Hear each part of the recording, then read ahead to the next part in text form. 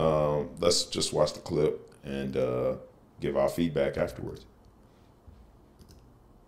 I have girlfriends in marriages right now who have settled with the nice, safe, secure guy we weren't all that attracted to. We didn't really want that much. We didn't have any chemistry with. We had meh sex with because we had to. Because the guy we actually felt passion and chemistry for doesn't want us. Or makes us so emotionally unhinged and erratic that we can't look ourselves in the mirror anymore. Normally, those guys that we settle for don't make it happen.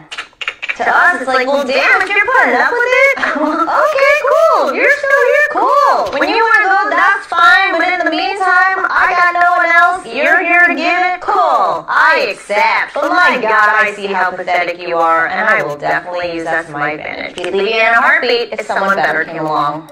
She will leave you in a heartbeat when someone else better comes along. It just it just goes to explain why majority of uh, divorces happen. A lot of women settle for men they're really not attracted to, really don't have uh, feelings for, but they understand that they want the party, they want the wedding, they want the big wedding. You know, the, they want to fulfill their little girl fantasies, and they go ahead and put themselves in these marriages. And